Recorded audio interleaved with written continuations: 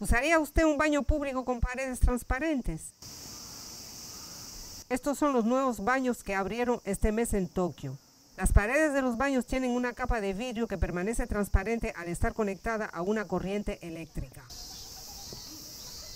Pero cuando la puerta está cerrada, la corriente se corta y una capa especial hace que el vidrio se vuelva opaco para ocultar al usuario. Este proyecto de la Fundación Nippon que rediseñó un total de 17 baños públicos en el vecindario y tiene el objetivo de hacerlos asequibles a todos, independientemente de la edad, el género o la discapacidad. Además, el diseño podría ayudar a que los usuarios se sientan más seguros al usar un baño público.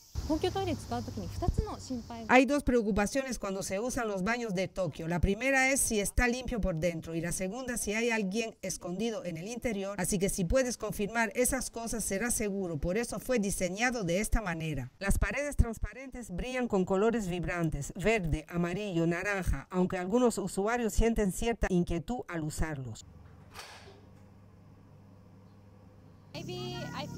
Tal vez me sentí un poco ansiosa la primera vez, dijo esta turista. Alguien está tratando de mirar dentro por el vidrio o algo así, pero creo que es más por diversión. Otro turista manifestó su admiración por el proyecto. Es una locura que la gente en Japón piense que están sucios, que huelen mal o que no son realmente agradables, pero me encanta el proyecto, dijo. Las fotos de los nuevos baños han estado apareciendo en los medios sociales animando a los residentes de Tokio a venir a verlos. Anne-Marie Garcia, Associated Press.